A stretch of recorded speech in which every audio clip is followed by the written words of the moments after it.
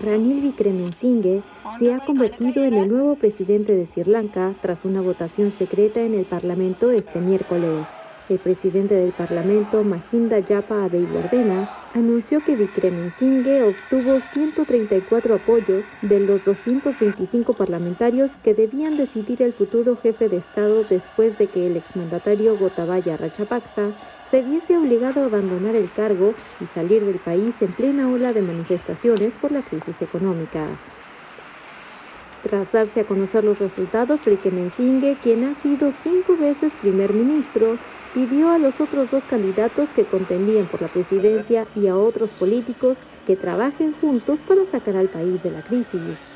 El político dirigirá al país hasta 2024, completando así el mandato del depuesto Gotabaya Rachapaksa, en un gobierno que deberá retomar las conversaciones con el Fondo Monetario Internacional sobre un posible rescate financiero. Brique